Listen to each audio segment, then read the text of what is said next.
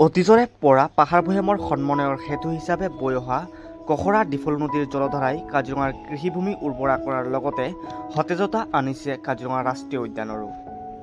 তদুপৰি কাৰ্বি আংলঙৰ অপৰূপ সৌন্দৰ্যৰ মাজত শিলৰ মাজেৰে বৈ অহা কহৰা নদীৰ কুলু কুলু শব্দৰ আকৰ্ষণত বনভোজৰ দলেও ভিৰ কৰেহি কহৰা নদীৰ পাৰ। নদীখনতে দৈনিক গা ধুওৱা হয় কাজিৰঙা ৰাষ্ট্ৰীয় উদ্যানৰ বিভাগীয় হাতীসমূহৰ যি দৃশ্য হৈ পৰে মন পৰশা নয়নভিৰাম আজি বিশ্ব নদী দিৱস। প্ৰতি বছৰে ছেপ্টেম্বৰ মাহৰ চতুৰ্থ দেওবাৰে বিশ্ব নদী দিৱস হিচাপে পালন কৰি অহা হৈছে। দুহেজাৰ চৌব্বিছ বৰ্ষৰ শিৰোনামা হিচাপে লোৱা হৈছে জীৱনৰ জলপথ। ইয়াৰ যোগেদি নদীসমূহক ৰাষ্ট্ৰীয় সম্পদ হিচাপে স্বীকৃতি প্ৰদান কৰি নদী সংৰক্ষণৰ ওপৰত গুৰুত্ব প্ৰদান কৰা হৈছে। কিন্তু দুৰ্ভাগ্যজনক কথা যে বছৰ বছৰ ধৰি বৈ অহা কহৰা ডিফল নদী ক্ৰমে গতি কৰিছে মৃতপ্ৰায় অৱস্থালৈ। অভিযোগ মতে একাংশ অবিবেচক লোকৰ কৰ্মকাণ্ড আৰু অবিজ্ঞানসন্মত চুইচ গেটৰ বাবে গভীৰতা নামি আহিছে কহৰা নদীৰ। সেয়েহে কাজিৰঙাৰ সচেতন মহলৰ চৰকাৰৰ প্ৰতি আহ্বান নদীখনক আগৰ দৰে জীয়াই ৰাখিবলৈ প্ৰয়োজনীয় পদক্ষেপ গ্ৰহণ কৰক। হয় আজি বিশ্ব নদী দিৱস আৰু এইবাৰ এই নদী দিৱসৰ যি থিম সেই থিমটো হৈছে জীৱনৰ জলপথ। আৰু এই উদ্দেশ্যটোৰ দ্বাৰা মানে এটা কথাই বুজাবলৈ মানে চেষ্টা কৰা হৈছে যে মানৱকেই নহয় বন্যপ্ৰাণী এই গোটেই প্ৰাকৃতিক পৰিৱেশ এই সমস্তৰ বাবে যে নদীৰ যিটো প্ৰয়োজনীয়তা সেই কথাখিনিকে আচলতে এই বিষয়বস্তুটোৰ দ্বাৰা বুজাবলৈ যোৱা গৈছে। আৰু সঁচাকৈ আমিও জানো যে নদী এক অপৰিহাৰ্য অংগ প্ৰকৃতিৰ বাবে আৰু আমি সেই ক্ষেত্ৰত উত্তৰ পূৰ্বাঞ্চল তথা ন মানে আমি বিশেষকৈ অসম আমি সেইকাৰণে সদায় গৌৰৱেৰে আমি কওঁ আমাৰ দুখন মুখ্য নদী ব্ৰহ্মপুত্ৰ আৰু বৰাক। আৰু তাৰ বিভিন্ন উপনৈসমূহ আছে। গতিকে জলসম্পদৰ ক্ষেত্ৰত অসম সদায় চহকী হৈ আছে। তো এতিয়া কথাটো হৈছে আমি যিহেতু কাজিৰঙাৰ পৰা ক'ব বিচাৰিছোঁ গতিকে কাজিৰঙা ৰাষ্ট্ৰীয় উদ্যানৰ লগত কেইখনমান নদী বিশেষভাৱে জড়িত হৈ আছে। যাৰ হৈছে ডিফলু নদী আমাৰ কাজি একদম কহৰা নদী। এই নদীকেইখনে বৰ্তমান সময়ত আগৰ যি যি ধাৰা সেই নদীৰ ধাৰা কিন্তু আজি বৰ্তমান সময়ত আমি সেইটো দেখিবলৈ নাপাওঁ। নদীকেইখন অপৰিষ্কাৰ হৈ পৰিছে আৰু আগতে কাজিৰঙা বুলি ক'লেই যে অসমৰ বিভিন্ন ঠাইৰ পৰা এই কঁহৰা নদীৰ কাষতেই বনভোজ খাবলৈ দলসমূহ আহিছিল। তেওঁলোকে যাক হাতী পাথৰ বুলি কোৱা হয় তাৰে সেইখিনিতে তেওঁলোকে বনভোজ খাইছিল।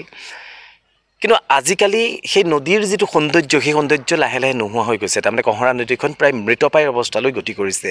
অকল কঁহৰা নদী বুলিয়েই নহয় অসমৰ প্ৰায়বিলাক নদীয়েই পাহাৰৰ পৰা বৈ অহা সৰু সৰু জান জুৰিবোৰ এতিয়া বৰ্তমান মৃতপ্ৰায় গতিকে আমি যদি যেনেকৈ আমি সকলোৱে গছৰ কথা কওঁ গছ ৰুলে আমি গছে অক্সিজেন দিব বাকী কিন্তু জীৱন ধাৰণৰ বাবে পানী যে অপৰিহাৰ্য যেনেকৈ মানুহৰ বাবে অপৰিহাৰ্য অংগ প্ৰকৃতিৰ বাবেও কিন্তু অপৰিহাৰ্য।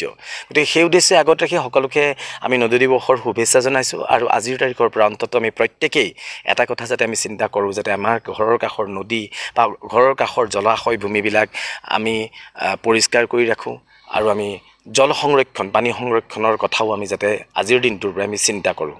কহৰা নদীক লৈ চৰকাৰলৈ কি আহ্বান থাকিব অকল কহৰা নদী বুলিয়ে নকওঁ আমি আমি দেখা পাইছোঁ ডিফলু নদীৰ কাষতো আমাৰ বোকাখাট পৌৰ নিগমে বনোৱা এটা ডাম্পিং গ্ৰাউণ্ড আছে য'ত পেলনীয়া জাবৰ জোঁথৰসমূহ তাত দমাই আৰু এটা ঢল পানী আহিলেই সেই জাবৰ জোঁথৰসমূহ নদীখনে কাজিৰঙা ৰাষ্ট্ৰীয় উদ্যানৰ ভিতৰ চৰাইলৈ লৈ যায়। আৰু তাৰ ফলত আমি কাজিৰঙা ৰাষ্ট্ৰীয় উদ্যানৰ ভিতৰচৰাত বহুতো ধৰণৰ আমি পলিথিন আৱৰ্জনা আমি প্ৰায় সততে আমি দেখা পাওঁ।